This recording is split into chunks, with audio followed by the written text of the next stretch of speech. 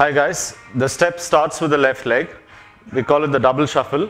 Double shuffle to the left and double shuffle to the right, cross back and step. Now, the guys have to repeat the step on the same spot with a double shuffle to the left, double shuffle to the right and cross back and step. The third one would be to turn around towards the left side, which is double shuffle on the left, double shuffle on the right, cross back and step. Now to finish the step with, you put your left leg out, turn around and close in. I'm going to show you how the entire step is done. It's left double, right double, cross back and step, repeat left double, right double, cross back and step, turn around to the left, right, cross back and step, step out and close.